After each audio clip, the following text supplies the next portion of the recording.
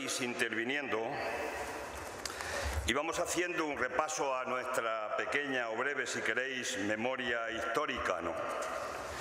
De estos últimos años, ¿no?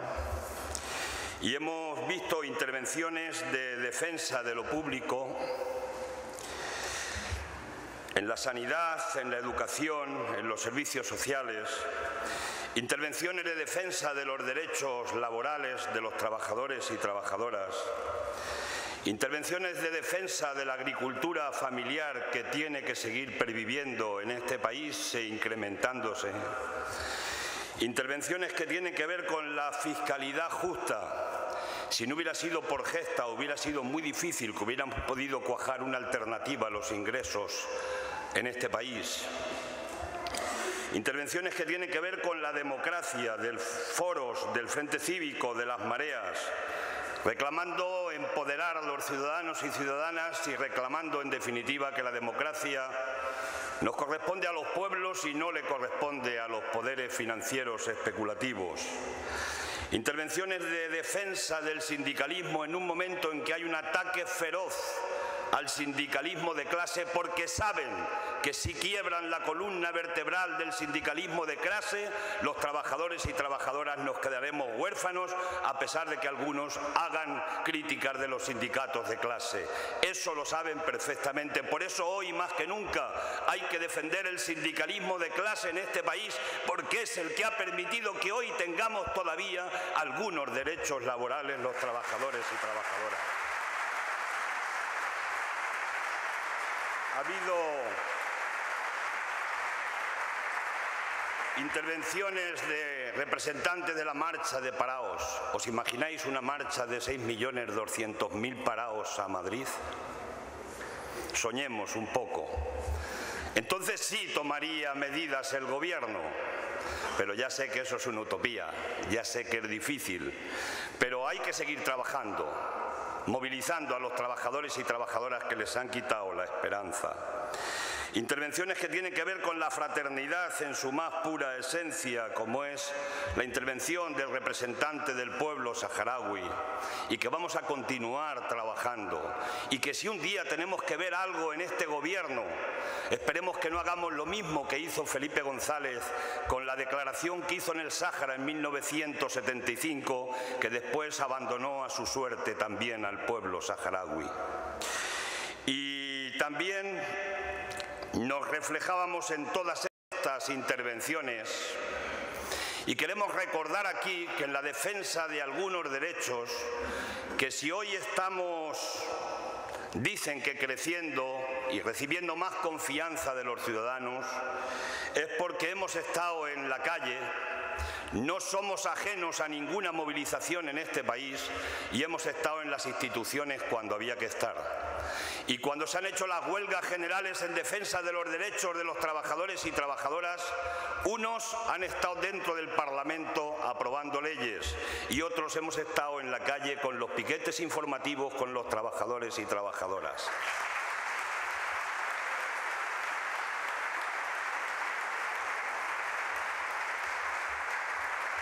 Hemos estado, por tanto, estamos y estaremos y si algún día tenemos más poder, esperemos que los mismos que hoy nos pueden dar el apoyo y nos pueden dar cada vez más confianza, sean los mismos que nos puedan cuestionar en cualquier momento determinado de la historia si no tenemos la coherencia de hacer lo que decimos.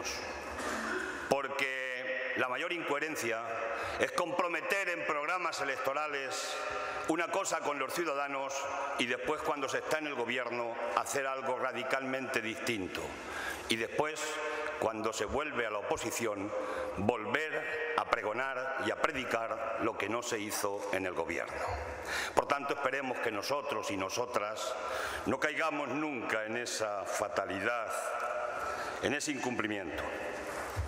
Han pasado Tres años desde que se iniciaron los recortes, desde mayo de 2010. Y el análisis es evidente. Más paro, más recesión, más déficit, más deuda, más intereses, más corrupción, más corrupción. Hoy hemos conocido que el señor Blesa. Esta mañana, ayer un juez decidía meterlo en prisión. Esta mañana me preguntaban los periodistas en Madrid, le habían puesto dos millones y medio de fianza. Y me preguntaban qué pensaba. Y digo, la decisión es buena. Es verdad, a ver si es verdad que la justicia funciona y empezamos a poder creer en la justicia. Pero igual dura poco en la cárcel, porque en este país hay fianzas de ricos y fianzas de pobres. Y le han puesto una fianza que a cualquiera de nosotros, mucho más pequeña, no hubiéramos podido salir de Soto del Real. Pero Blesa entró ayer en Soto del Real a mantener conversaciones con el anterior presidente de la COE. Me imagino que habrán estado discutiendo eso que decía el anterior presidente de la COE, de que había que trabajar más y había que cobrar menos, y no han llegado a terminar la conversación porque el señor Blesa ya está en la calle después de haber dado los dos millones y medio de euros de la fianza. Hubo una mujer que se encontró una tarjeta en la calle que no era suya, fue a comprar y la aplicaron y la metieron en la cárcel y después la indultaron porque había un clamor popular en ese sentido. No es verdad. No es verdad que la justicia sea igual para todos. Y la LONCE ya lo han explicado los compañeros anteriormente. Martín ha expresado perfectamente el acuerdo que ha adoptado el Gobierno el Consejo de Ministros y que se simplifica sencillamente diciendo que quieren volvernos al nacional catolicismo, que nos quieren llevar al tiempo del adoctrinamiento religioso, que nos quieren llevar a llevar la fe a los colegios y no el conocimiento y la inteligencia, que el Gobierno ha claudicado ante la parte jerárquica más retrógrada de la Iglesia, y la Iglesia, los obispos, en lugar de preocuparse de reprimir tanto a la sociedad, que a veces esas represiones les afectan también internamente en sus propios comportamientos, porque nadie le puede poner puertas al campo, se deberían dedicar probablemente más a hacer de educación para la ciudadanía dentro de la jerarquía religiosa y menos presiones a los gobiernos para que nos vuelvan a tiempos del nacional catolicismo en este país. Tiene tarea la Iglesia para poder actuar en esa dirección. Quiero deciros que de la situación que tenemos en este momento es algo que está pasando ahora, pero es algo que se diseñó hace ya muchísimo tiempo. Se diseñaba en algo que conocemos como el consenso de Washington, hace más de 20 años. Decidieron después también ampliándolo en el Tratado de Maastricht y después en el Acuerdo de Lisboa, que había que debilitar a los estados, que había que debilitar a las democracias, que había que desregular los mercados, que había que hacer desregulaciones laborales, eso que le llaman flexibilidad, que había que tener fiscalidad regresiva, es decir, que pagaran los impuestos la mayoría de los ciudadanos y no los beneficios del capital, y que había que privatizar las empresas públicas del Estado y que había que privatizar los servicios públicos del Estado. Eso lo diseñaron hace ya mucho en el consenso de Washington. El problema es que el capitalismo popular lo está aplicando ahora de una manera radical. Y lo grave de esto es que no solo lo está haciendo la política de la derecha conservadora europea, sino que la socialdemocracia, que ha dejado de ser socialdemocracia en su más puro origen, también se ha abrazado a estas políticas y fruto de ello son las consecuencias que en este momento se está produciendo en los países de la Unión Europea y se está produciendo también en nuestro país.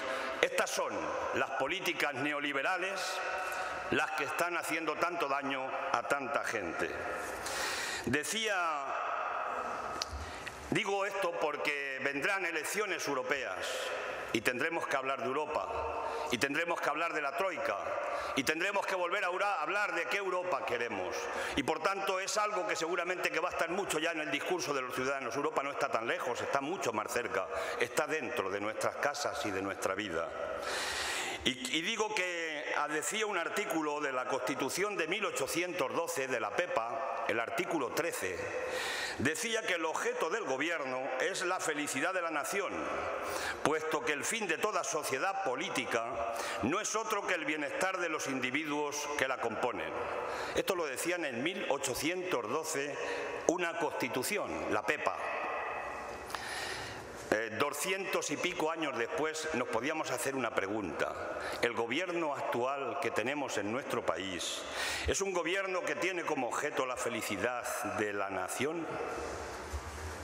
El presidente del gobierno me decía en el último debate, me decía en el último debate una cosa curiosa.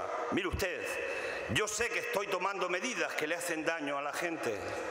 Yo sé, a mí no me gusta tomar estas medidas. Y nosotros le contestábamos al presidente del gobierno, pues si no le gustan, no las tome, dimita usted y además así se quita y tiene la felicidad de no tomar medidas contra la gente.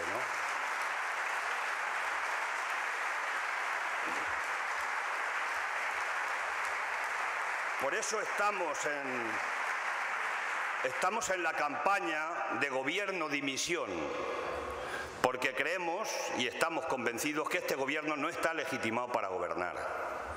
Y no está legitimado para gobernar porque ha violado sistemáticamente el programa con el que se comprometió con los ciudadanos y ciudadanas. Si hoy hubiera un comité ético de control de programas y promesas electorales, tendría un suspenso absoluto la actuación de este gobierno. No voy a relatar en todo lo que ha violado la palabra. Dijo que no iba a abaratar el despido, no hace falta más comentarios, que no iba a tocar la sanidad, la educación, las pensiones, que no iba a hacer amnistías fiscales, en fin, hay un relato amplio. Y alguna gente piensa y dice, pero bueno, si le ha faltado la palabra, se la ha faltado a los que votaron al Partido Popular, a los demás no. Pero claro, el problema es que cuando viola la palabra a los propios votantes que le han llevado al gobierno, también nos está jodiendo a los demás ciudadanos y ciudadanas que no le hemos dado el voto ni le hemos dado el apoyo. Y Rajoy viene a decirnos que él tiene que cumplir con el deber. Y nosotros le decimos que el deber es cumplir con el programa, porque es el compromiso que contrae con los ciudadanos y ciudadanas. Y la última violación, yo creo que es la violación más gruesa de todas, es cuando prometieron y comprometieron crear tres millones y medio de puestos de trabajo. Rajoy se hacía fotos en las colas del paro, ahora ya no va. No le vemos ya en las colas del paro haciéndose fotografías.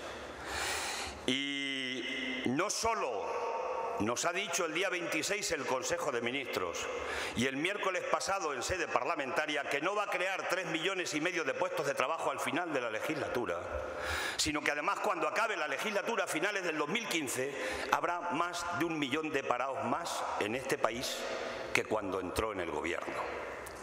Y eso es terrorífico. Esa decisión que la tomó el Consejo de Ministros esa actualización de los datos macroeconómicos, dos días después de que este país estuviera conmocionado por el dato de 6.200.000 parados, que conmocionó a la gente de este país, es un crimen económico contra los ciudadanos y ciudadanas, porque le quitó toda la esperanza a toda la gente que se ha formado, que se ha educado, que se ha preparado para prestar sus conocimientos a este país, y el gobierno les dijo que no tengan ninguna esperanza hasta más allá del 2015 porque no solo no van a crear empleo, sino que seguirán destruyendo empleo. Entonces, ¿para qué han llegado al gobierno? Y hay una pregunta importante, y alguna gente dice que hacemos demagogia, porque nosotros afirmamos que el gobierno de Rajoy no quiere crear empleo. Y hay gente que dice, pero hombre, ¿cómo no va a querer crear empleo un gobierno? Si crea empleo la gente estará más feliz, más contenta, le votarán más y tendrán más mayoría en las elecciones siguientes. Y esto tiene raciocinio se lo puede uno tragar, pero ¿por qué no quieren crear empleo? Vamos a ir a los clásicos. No quieren crear empleo porque quieren tener un ejército de parados para presionar sobre los salarios de los trabajadores en activo y bajar entre el 20 y el 30% los salarios.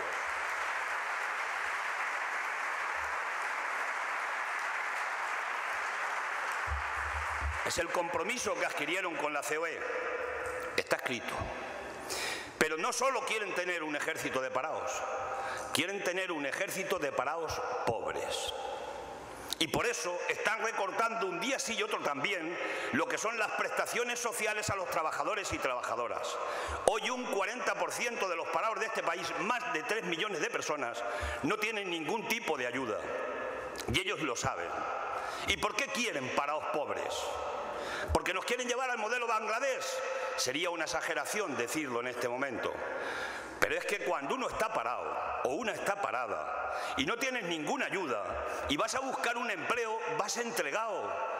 Y coges un empleo de miseria, aunque no te den de alta en la seguridad social, aunque te den un salario por debajo del salario mínimo interprofesional, porque tienes la manía de comer cada día o de pagar el recibo de la luz de tu casa y por tanto la gente va entregada y por eso no se conforman con un ejército de parados, sino que quieren un ejército de parados pobres para que la clase trabajadora se entregue definitivamente a los empresarios con menos escrúpulos de este país.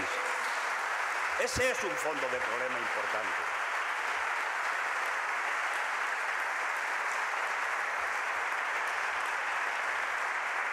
Y así no vamos a ninguna parte. Un país no puede soportar 57% de jóvenes en el paro.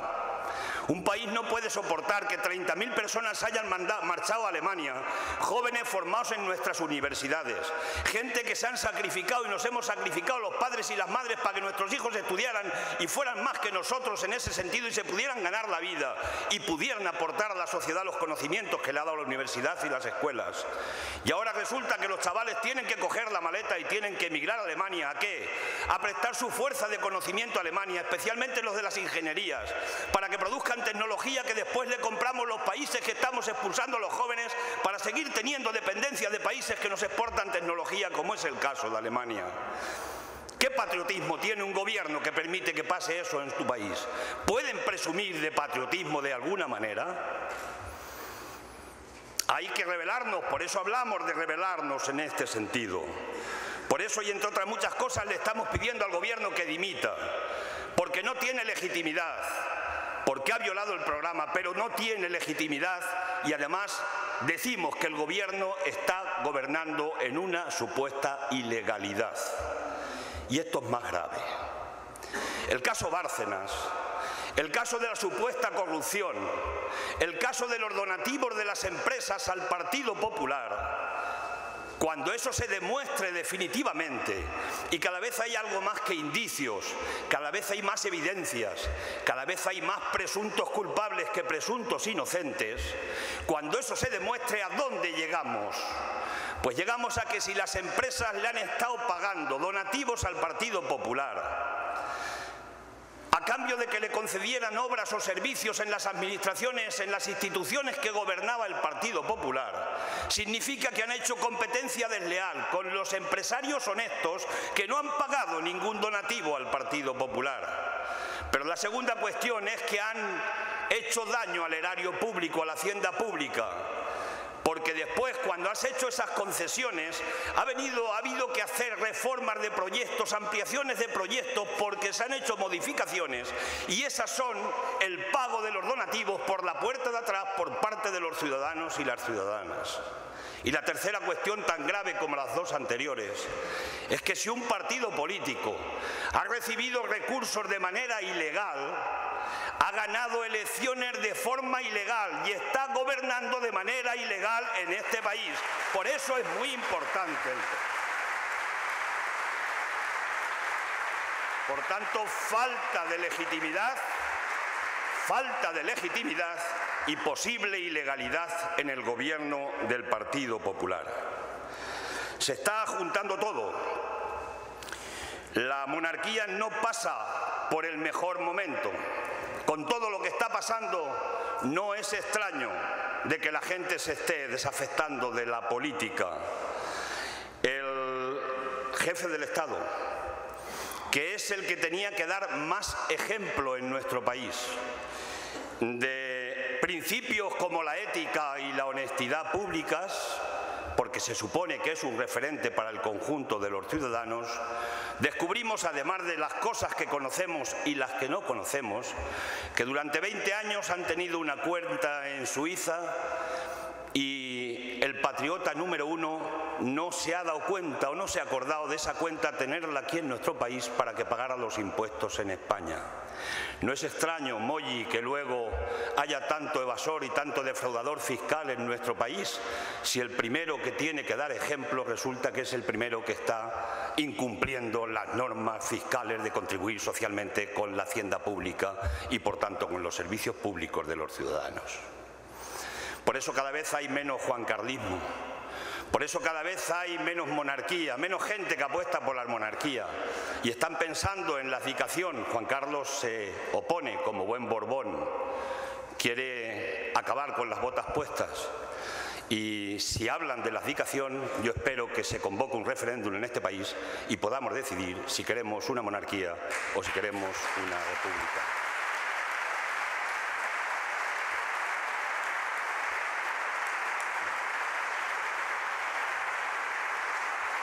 El argumento de Rajoy es, mire usted, el Estado es como una familia. Si en casa ingresamos menos que gastamos, eso no lo podemos aguantar. Pero no nos cuenta que el Estado no es una familia.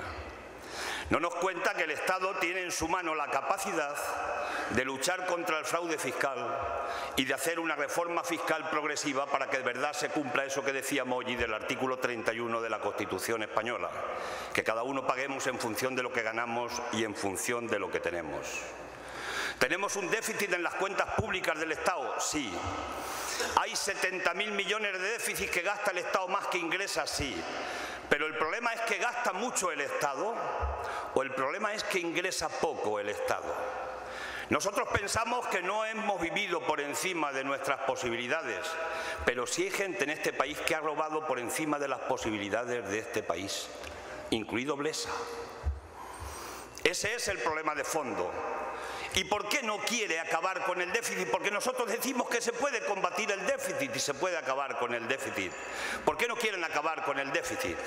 Porque es con lo que justifican privatizar los servicios públicos después de deteriorar los esenciales como es la sanidad, como es la educación y como son el bienestar social y los servicios sociales.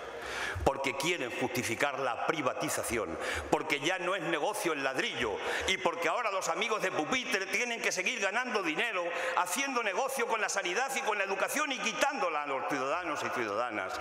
Ese es el fondo del problema.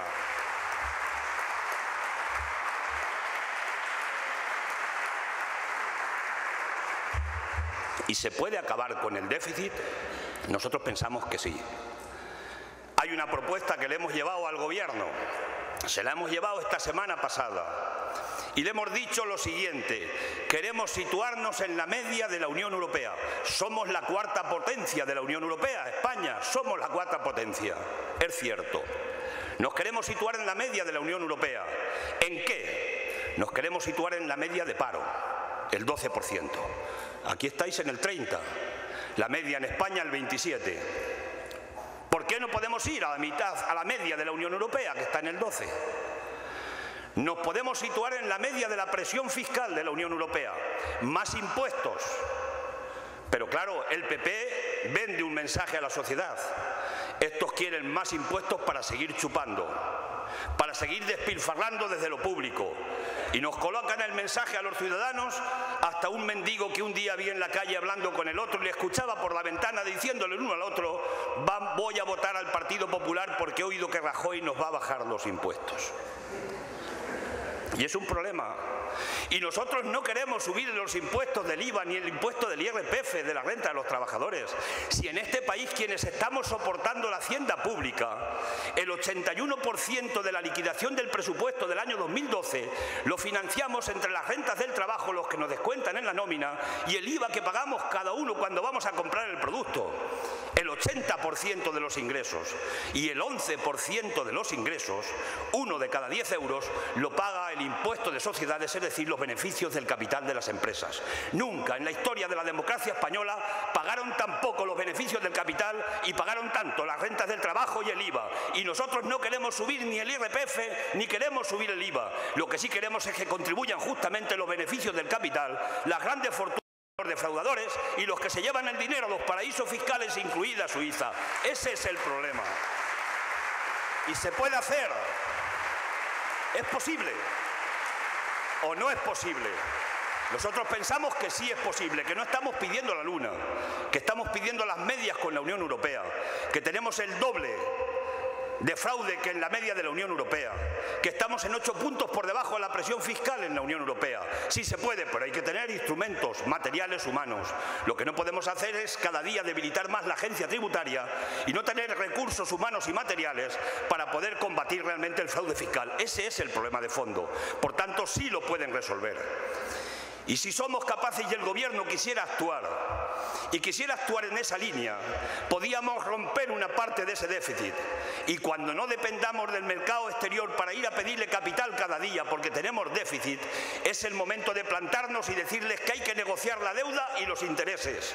Porque hay una parte de la deuda que es ilegítima y porque los intereses son usureros, que se han hecho porque el Banco Central Europeo no compraba deuda directa a los países al 1% o al 0,75, sí le daba dinero a los bancos y los bancos venían y compraban deuda y especulaban con un 4 o un 5% y por eso debemos este año 38.500 millones de euros, que es más que lo que se gasta el Estado en toda la administración del Estado, incluida la Guardia Civil, la Policía y el propio Ejército.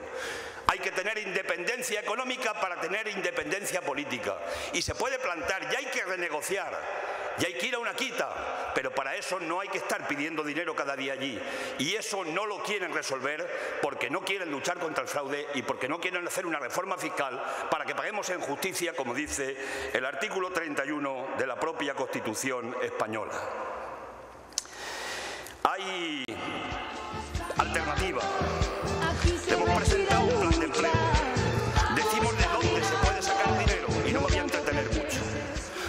se puede sacar dinero y qué podemos hacer. Y podemos ir al 12% de paro en tres años. Y hay que poner 60.000 millones encima de la mesa en tres años. Y se puede hacer. Mollinedo explicaba aquí también en su intervención de dónde y cómo se pueden sacar los recursos. Y no lo está diciendo Izquierda Unida, lo está diciendo un técnico que entiende la hacienda pública. Y a partir de ahí, lo que estamos diciendo es que hay que actuar sobre el empleo. ¿Y sobre qué empleo primero hay que actuar? Sobre los que más sufren. ¿Y quiénes son los que más sufren? Los de la marcha de parados del otro día de aquí de Murcia. La gente que está parada y que no tiene ninguna ayuda, ni prestación, ni subsidio, ni plan prepara y no tiene nada. Porque esa gente está en la exclusión social, está en los comedores públicos, le están robando la dignidad, está pidiendo en los centros sociales para pagar el recibo de la luz o el recibo del agua. Los quieren hundir como ciudadanos y sobre eso es sobre lo que hay que actuar primero. Y un Estado que fuera de verdad social y solidario debería actuar de manera inmediata, porque además lo dice el artículo 41 de la Constitución española. Esa Constitución que cada 6 de diciembre se vienen a loarla y la engalanan y la ponen de divina la Constitución y después al día siguiente la empiezan a violar en todo lo que tiene que ver con los derechos de los trabajadores y trabajadoras y la mayoría social. Un plan de empleo, sí, un millón de puestos de trabajo. A través de los ayuntamientos, temporales, sí, no podemos dar empleo fijo, es imposible hoy, en esa primera fase.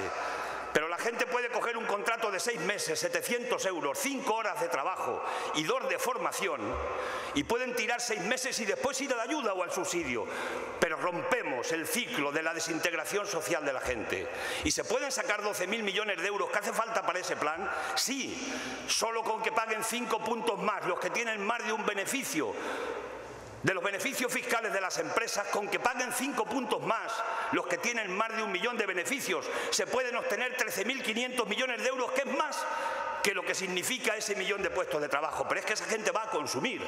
Es que el dinero que cogen automáticamente va al consumo. Va a las tiendas, las tiendas venden más, los comercios venden más, los comerciales venden más productos, las fábricas producen más, porque estamos en una crisis de demanda, porque quitarle el poder adquisitivo a la clase trabajadora está provocando la recesión y está provocando el paro, porque, repito, hay una tonía absoluta en el consumo. Y en la crisis de demanda que tenemos profunda, solo se puede resolver subiendo los salarios, que la gente tenga poder adquisitivo, que pueda gastar para que se mueva de nuevo la dinámica de la economía. Y hay más alternativas, y hay alternativas en el empleo verde, hay alternativas en la reforma de viviendas y en la climatización de viviendas, porque ya no vamos a construir más casas, pero sí hay que reformar las casas. Hay 13 millones de casas en este país que son viejas y que hay que climatizarlas, hay que reformarlas. Y con la ayuda del Estado se puede hacer y se puede blanquear la economía sumergida. Ese trabajo de chapuza que va haciendo la gente porque tiene que comer y tiene que vivir. Y hay que ir a nuevas tecnologías. Hay que impulsar las energías no contaminantes, las energías limpias. No podemos seguir dependiendo en este momento de la energía nuclear y no podemos seguir dependiendo del combustible de los que son bienes finitos que se van a agotar en la naturaleza. Y hay que caminar en esa dirección. Y hay que ir a invertir en I+D más sí, sí es posible, pero para eso, repito, tiene que haber una fiscalidad justa, luchar contra el fraude y tener recursos en el Estado para ser el Estado hoy locomotora de la economía que hará moverse a mucha pequeña y mediana empresa en este país y que se pueda empezar a generar empleo. Y una línea de crédito que planteamos de 40.000 millones de euros del Banco Central Europeo al 0,5% que está hoy el tipo de interés para que la empresa pueda de alguna manera también tener, resolver los problemas profundos de liquidez que tienen muchas empresas y que están plegando porque tienen un problema de liquidez. Sí hay alternativa, sí es posible la alternativa. El problema es que no quieren abordarla porque están sujetos a la política del capital financiero especulativo. Podemos poner en valor la política. Un par de ejemplos. No era posible por parte del gobierno, y no lo ha sido, resolver que no echen a nadie de su casa porque ha perdido el empleo y lo echen a la calle. Y ha venido el gobierno de Andalucía con una consejería que tiene nuestra fuerza política y ha decidido que sí es posible que en Andalucía no se desahucie a nadie de su casa y que si tienen que intervenir en los bancos, en las propiedades de los bancos, en el uso, por tres años intervendrán y no van a echar a nadie de su casa. Sí era posible hacerlo y eso reconcilia a la gente con la política y hay que extenderlo a todas las comunidades autónomas. Y es posible. Y han decidido que no se va a acostar ningún niño en Andalucía, que no se va a acostar sin tener tres comidas al cabo del día. Y eso es posible, y eso lo podemos hacer en todo el Estado. Los profesores saben que algunos niños y niñas van a los colegios desnutridos y que tienen problemas, lo saben perfectamente los educadores en nuestro país y es posible resolverlo. Y eso, repito, reconcilia a la gente con la política de una manera profunda. Reivindicamos, por tanto, que es posible cambiar en este país. Reivindicamos los valores de la ética, de la honestidad, de la política con mayúsculas, como planteaba algún interviniente anterior. Son valores y principios irrenunciables de la izquierda, de una sociedad que nos llamamos democrática y participativa, que queremos serlo. Y son valores que son eh, sensibles y especialmente irrenunciables siempre, pero especialmente cuando estamos en los gobiernos. Cuando estamos gobernando es cuando de verdad se nos ve, cuando de verdad se sabe cómo somos y cómo actuamos. Y tenemos que tener pulcritud absoluta porque cada vez estamos teniendo más confianza de la gente, porque cada vez la gente nos quiere más, no solo en la pancarta que también, sino que nos empieza a querer más en la responsabilidad y tareas de gobierno. Y en siguientes elecciones tendremos más responsabilidad en ayuntamientos, más responsabilidad en comunidades autónomas y probablemente más responsabilidad a nivel del Estado. Y tocará mojarnos, tocará decidir que nosotros estamos en política porque decidimos un día que había que modificar el boletín oficial del Estado y ponerlo al servicio de la inmensa mayoría de la clase trabajadora con mayúsculas y no al servicio del interés especulativo. Por eso estamos en política.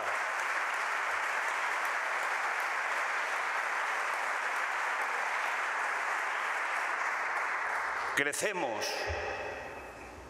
Me dicen que no lo digan público, que queda muy mal y que no es diplomático, pero yo soy apolíticamente incorrecto o políticamente incorrecto.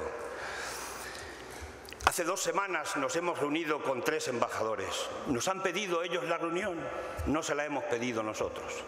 El embajador de Francia, el embajador de Inglaterra y el embajador de Alemania. Este hasta nos invitó a comer en su residencia. ¿Y cuándo se han acordado de Izquierda Unida las embajadas de Francia, de Alemania y de Inglaterra? Porque nosotros siempre estábamos con los embajadores de Cuba, de Venezuela, de Ecuador, en fin, con... ¿Por qué?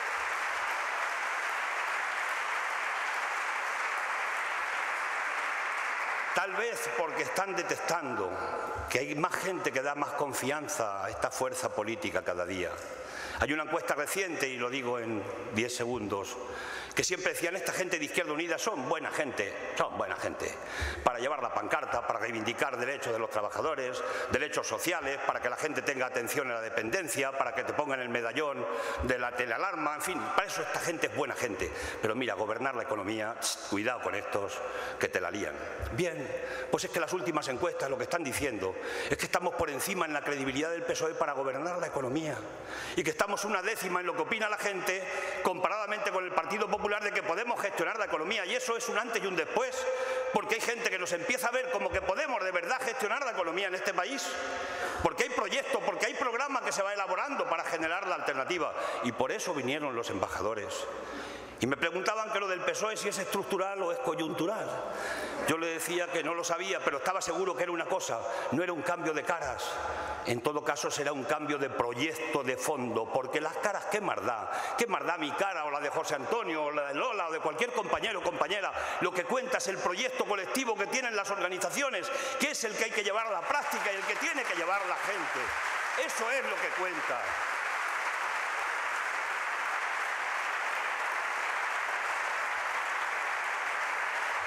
No me preguntaron, no me preguntaron por la deuda. Y le debemos, entre el sector privado y el sector público, más de 100.000 millones de euros para los que ajusten las cuentas, más de 100.000 millones de euros a cada uno de los tres países. Y la preocupación que tienen es si un día tenemos que pintar algo en el gobierno de este país, qué posición tenemos sobre el tema de la deuda y sobre el tema de los intereses. Esa era la preocupación, pero por esa no me preguntaron. Yo creo que lo daban por hecho de que nos entendíamos perfectamente en las conversaciones que manteníamos, ¿no? Bien, este es un buen baremo de medir. Y crecer, ¿por qué crecemos? ¿Por qué crecemos? Ah, es que el PSOE ha sido un desastre cuando ha gobernado, es que el PP es un desastre mayor cuando está gobernando y como todos son un desastre, pues la gente se agarra ahora Izquierda Unida y dan más apoyo a Izquierda Unida y por eso estáis en intención de voto creciendo. Y yo digo eso también. Y alguna gente dice, ¿estaréis contentos? Soy un periodista, me preguntaba. Y me preguntan cada día, ¿estaréis contentos porque estáis subiendo? Y nosotros le respondemos de una manera, yo estaría más contento con que mis hijos trabajaran y mi mujer trabajara y que las mujeres de mis amigos y mis compañeros tuvieran trabajo, aunque nosotros no subiéramos. Yo estaría más contento con eso porque nuestra fuerza política no es un fin en sí mismo, somos un instrumento para ayudar a transformar la sociedad junto con otros y con otras, junto con más gente que quiera ayudar a transformar esta sociedad frente a esta política capitalista, frente a este neoliberalismo. Y por eso, y para eso, hay que crear poder. Poder. Y el poder es una palabra de cinco letras, pero el poder es una palabra de mucho poder.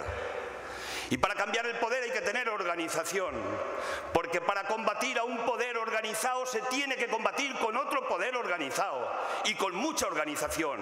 Y un día podremos estar en el gobierno, pero estar en el gobierno solo no es tener el poder. Tener el poder es realmente tener pleno ciudadano a un proyecto político determinado y cuando los gobernantes, los que sean que pongas en el gobierno, quieran adoptar de medidas que se enfrenten de verdad al poder económico histórico en este país, cuando se enfrenten en serio que el pueblo esté respaldando ese poder, ese gobierno y entonces tendremos poder. Mientras tanto no habrá poder. Y en eso estamos. En ese camino estamos. Unos venimos de lejos en la organización política, unos hace tiempo que decidimos, como dije al principio, dejar, no dejar la pancarta, seguir en la pancarta, pero también ir a la institución, porque hay que cambiar dentro del Estado de Derecho, porque nosotros creemos en el Estado de Derecho, porque nosotros hemos luchado y nuestras generaciones han luchado contra el franquismo por el Estado de Derecho y por la libertad en este país, que no se equivoque nadie. Y que no nos intenten de alguna manera confundir con otras propuestas en otros sitios y queremos cambiarlo dentro del Estado de Derecho y por eso queremos crear poder y organización. ¿Y qué es tener organización? Es saber que hacemos proyectos colectivos, que trabajamos colectivamente, pensamiento colectivo, aportando cada uno nuestros conocimientos y nuestro saber, ponerlo en valor, transformarlo en programa y después poderlo transformar en gobierno real. Eso es tener el poder y eso es lo que nos toca ahora, porque tenemos crecimiento en las encuestas por encima de nuestras posibilidades. Esa es la cuestión y por eso necesitamos crecer en esta organización. Se está moviendo mucho, muchos foros, muchos movimientos, pero compañeros y compañeras, a eso hay que darle forma.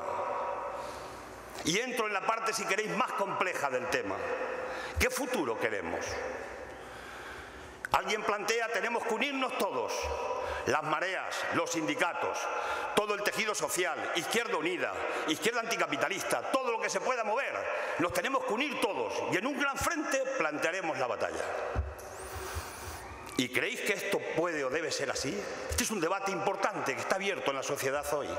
Y nosotros pensamos que en la política entramos para combatir el poder, para tomar el poder, para cambiar el poder de manos, para cambiar el boletín oficial del Estado.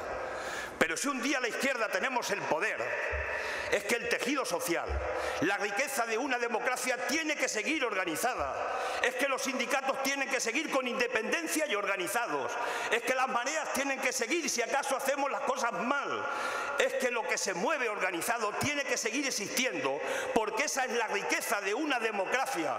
Y un gobierno de la izquierda tiene que cambiar con esa gente, sí, pero cuidado con confundirnos, cuidado con monopolizar lo que es todo el movimiento y el tejido social y sindical porque eso es lo que nos garantiza que podamos tener una democracia rica de futuro y una democracia que apueste realmente por la transformación. Y en eso estamos en Izquierda Unida. Queremos crear un bloque social y político para contraponer un poder a otro poder, pero organizadamente, organizándonos de manera seria y sólida. Esa es la tarea. Tenemos que tener cohesión interna, unidad de acción para dar un mensaje a los ciudadanos.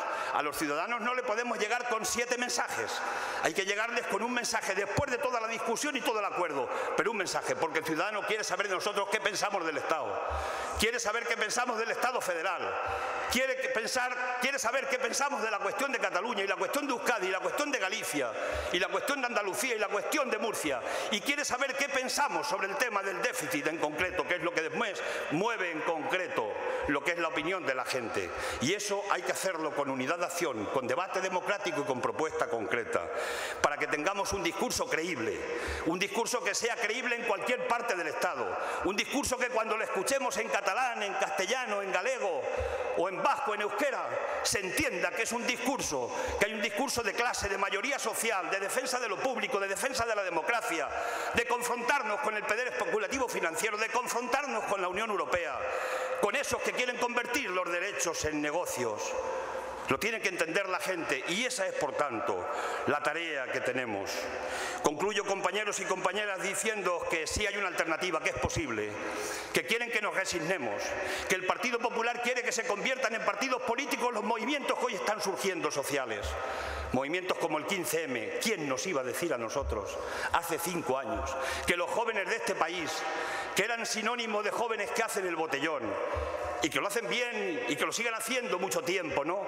Pero ¿quién nos decía a nosotros que se iban a poner en las plazas de los pueblos a discutir de política, de economía, de bienestar social, de los problemas de la gente? ¿Quién nos decía eso a nosotros? Se están repolitizando y tomarán el camino cada uno individualmente que quiera y participará donde quiera y se irá a los sindicatos, a partidos políticos o donde quiera, pero el PP quiere que se conviertan en partido político porque quiere atomizar a la izquierda, porque quiere dividir a la izquierda, porque están viendo que el bipartidismo se está hundiendo y les interesa, por tanto, que mareas corrientes se conviertan en partidos políticos. Es la vieja teoría del divide y vencerás. Eso la derecha lo hace bien en este país y no tenemos, por tanto, que despistarnos.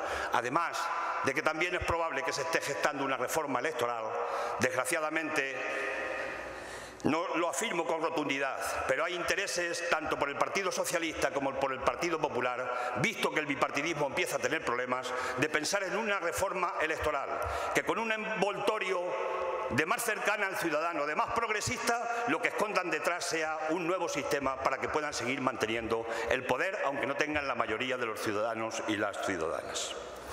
Concluyo, por tanto, felicitando vuestro trabajo, la trayectoria, la historia.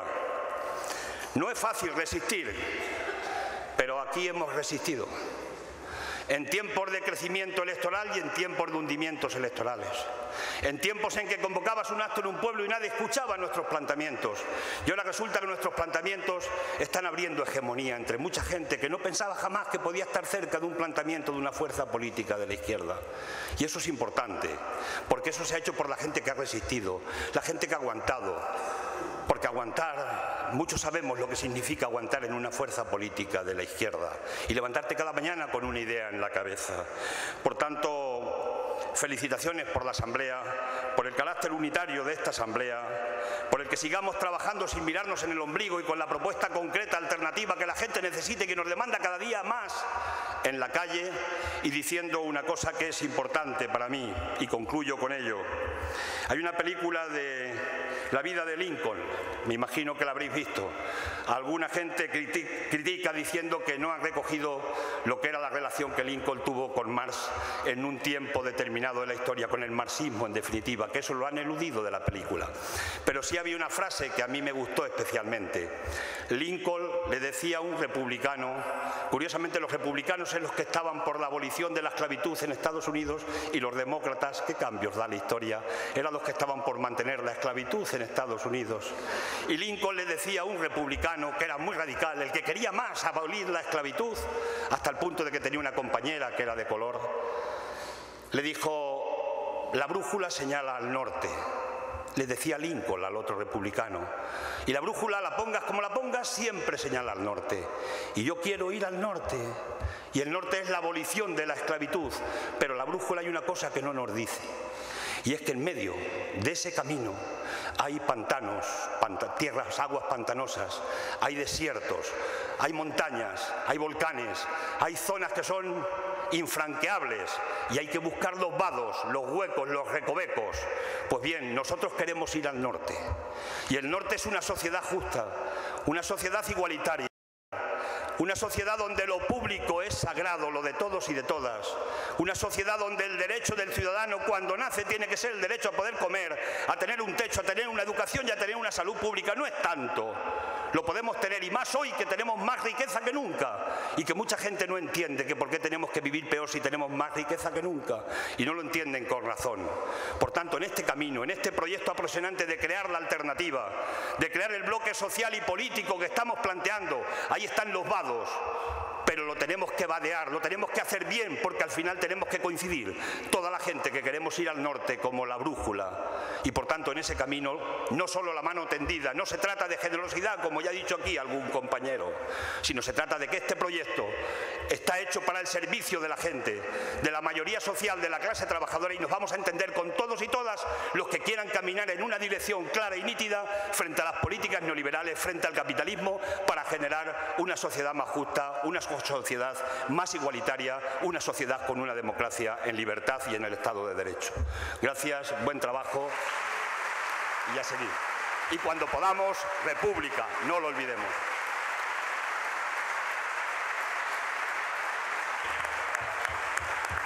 Sí, pero es que se me